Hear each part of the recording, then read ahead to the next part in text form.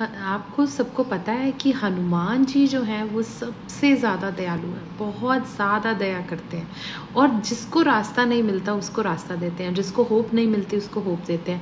आपको पता है ना, सुंदरकांड में कितने लोगों को होप मिली? राम जी को पता चला कि सीता कहाँ है। सीता जी को पता चला कि राम जी आ रहे हैं।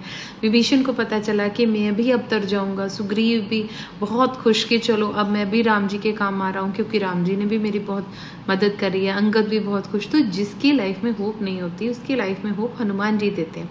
अगर आप हनुमान अष्टक या हनुमान चालीसे का पाठ या सुंदरकांड का पाठ बहुत नियमित रूप से नहीं कर पाते हैं और आपकी लाइफ में समस्याएँ हैं तो आपको बहुत सिंपल काम करना है।